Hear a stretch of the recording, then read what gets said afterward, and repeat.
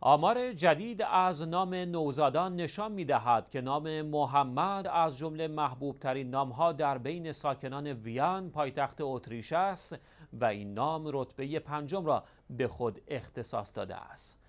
کمتر از دو ماه پیش شورای امور آموزشی در وین اعلام کرد که تعداد دانش آموزان مسلمانی که در سال تحصیلی امسال ثبت نام کرده اند بیشتر از تعداد دانش آموزان کاتولیک است و این امر بحث و جدل هایی را در اتریش به همراه داشت. اکنون به خاطر آمار جدید جنجال برانگیز درباره نام کودکان متولد شده بار دیگر نگاه ها به پایتخت این کشور خیره شده است.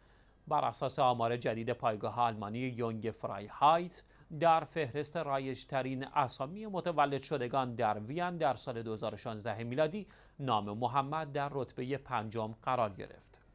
در سال گذشته اداره متولدین در شورای شهر وین 124 نوزاد با نام محمد را ثبت کرده است و نامهای الکساندر، مکسیمیلیان، دیوید و لوکاس در این فهرست رتبه اول تا چهارم را به خود اختصاص دادند.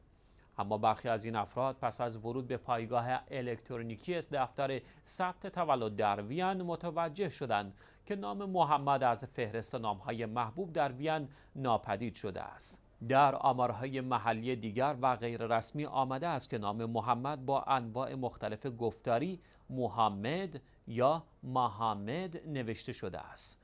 گفتنی است در سال 2010 میلادی 99 نوزاد محمد نام گذاشته شدند که این تعداد در سال گذشته به 124 نوزاد رسیده است.